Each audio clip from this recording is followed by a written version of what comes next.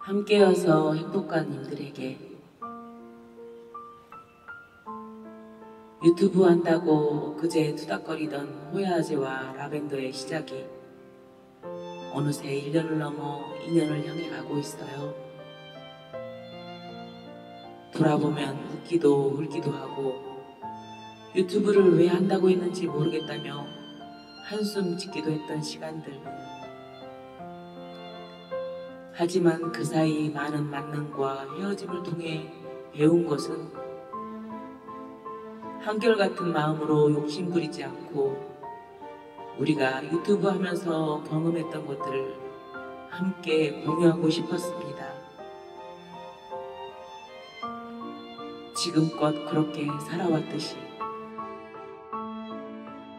앞으로도 욕심내지 않고 나누는 행복, 누리는 기쁨, 함께 공유하며 힘들 때 함께하고 지칠 때 손 잡아주는 호야아재 TV가 되겠습니다.